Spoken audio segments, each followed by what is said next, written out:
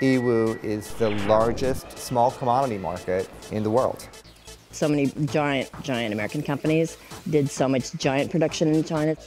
90% of the things that you own and the things that you cherish probably has crossed some point of the city.